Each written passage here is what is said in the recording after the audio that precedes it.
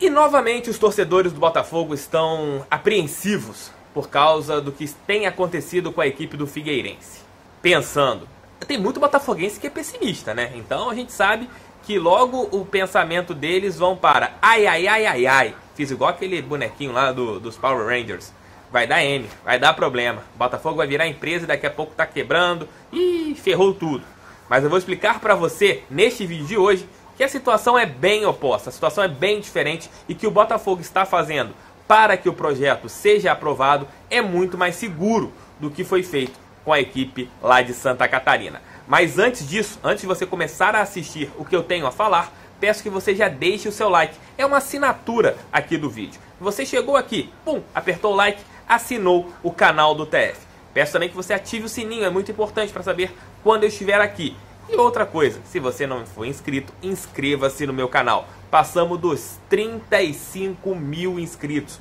Muito, muito, muito obrigado. Desde que eu comecei a focar neste canal, que foi mais ou menos ali final de fevereiro, início de março deste ano, já passamos a marca de mais de 30, 30 mil pessoas inscritas aqui no canal do TF. Vocês arrebentaram e eu só posso agradecê-los. Então vamos, sem mais delongas, ao vídeo de hoje.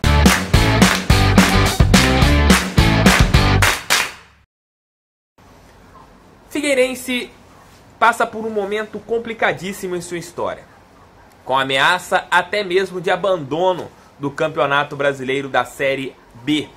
E com isso, caso abandone, a equipe pode cair para a quarta divisão. Na última semana, o clube, Figueirense Futebol Clube, retornou ao comando das operações, já que a Elephant, o grupo SA, que comprou o direito de 20 anos de ser o responsável por tudo, devolveu, assinou um, um documento na última quinta-feira que tá, estava devolvendo as operações para o futebol do Figueirense, para o, o Figueirense estrutura antiga, vamos colocar dessa maneira. E com isso, muitos torcedores do Botafogo estão preocupados, porque o Alvinegro vai virar empresa. É, tudo leva a crer que vai virar empresa no ano que vem. Conversei novamente durante a tarde com meu amigo Rodrigo Capello, do Globoesporte.com, especialista nessa parte de finanças. E eu tirei algumas dúvidas, também busquei com outros profissionais do mercado o que o Botafogo tem de diferente, qual é o risco que o Botafogo tem, se pode acontecer com o Botafogo a mesma coisa que houve com o Figueirense. Já falei algo em relação a isso há algum tempo, aproximadamente 40, 50 dias, trouxe um vídeo a respeito disso. Mas vou tentar trazer de uma maneira diferente, já que o assunto voltou à tona, e sempre que o assunto volta à tona, a melhor coisa é a gente conversar sobre o mesmo, para acabar com fake news, para acabar com boatinhos e a gente trazer aquilo que realmente acontece. Apurações, informações e notícias. É aqui você encontra sempre no canal do TF. Botafogo, ele está pensando de uma maneira diferente. O, a Elephant foi a dona única da equipe do Figueirense. E pelo que eu pude apurar, já na hora da assinatura do contrato, a, a, o Figueirense, na assinatura do Conselho Deliberativo, aprovação de que eles operassem 95% daquele clube, né? Pegando. Mesma coisa que aconteceu com o Botafogo, né? Pegando futebol, base, é, o estádio é, é, da, do Figueirense, Orlando Scarpelli, etc, etc, etc. A mesma coisa que aconteceria em relação ao Alvinegro, carioca no caso, né? Alvinegro catarinense e Alvinegro carioca. E nessa operação muita gente já duvidou da Elephants. Mas como o dinheiro pareceu mais importante naquele momento, não houve uma investigação. Simplesmente assinaram um contrato e pronto. Tinha algumas situações lá de cláusulas de rescisões contratuais e mandaram, mandaram bronca. E hoje a dívida do Figueirense é mais está, está na casa de 150 milhões, um clube pequeno, né? um clube mediano para pequeno do futebol brasileiro. O Botafogo vai fazer diferente por quê? A intenção é que não seja apenas um investidor dentro do Botafogo. É que sejam um pool. Ah, Thiago, mas de repente esse pool aí pode ter gente aí mal intencionada, 10 mal intencionados e Botafogo quebrar. Pode acontecer? Pode. Pode, é um risco.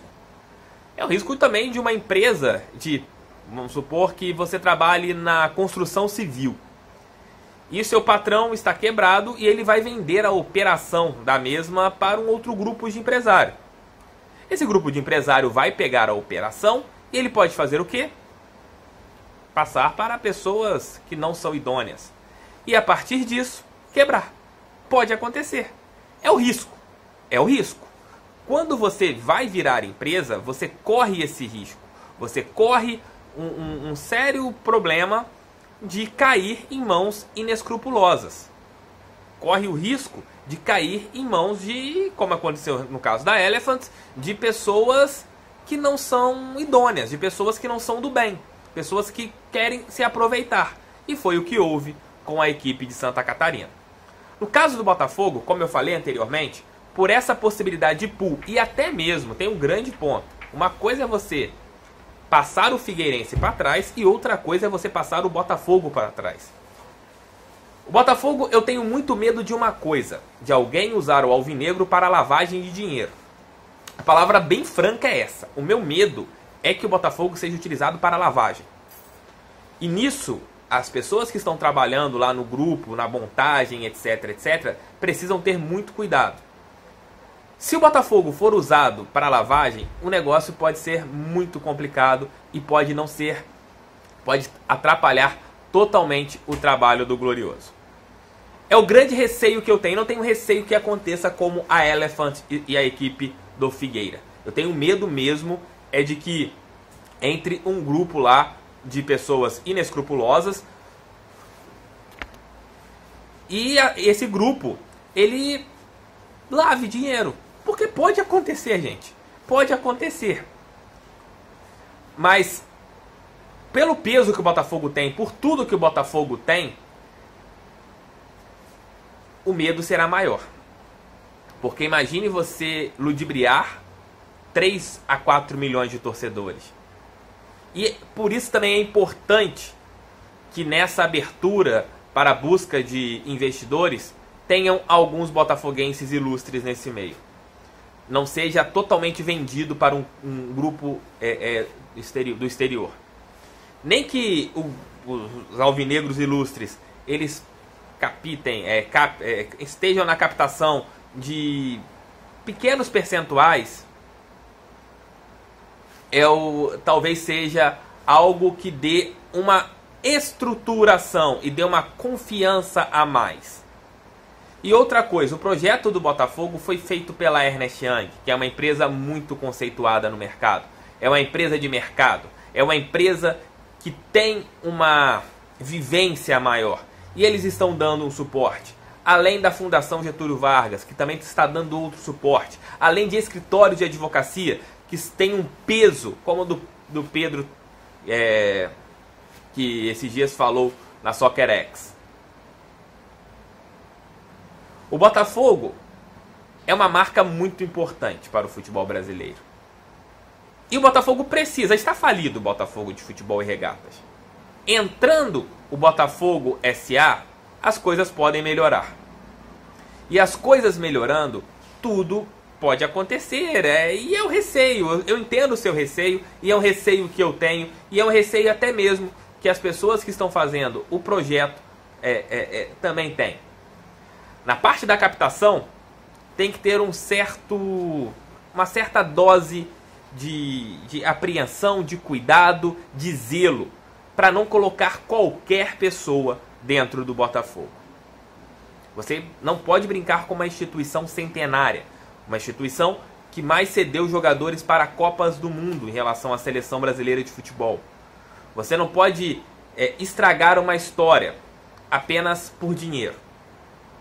Então, que na hora da captação de investidores seja feita a coisa certa que não caiam no conto do vigário, que busquem realmente pessoas sérias. O Botafogo já sofreu com a Telex Free há uns anos atrás. Há uns anos atrás é redundância, né? Há uns anos.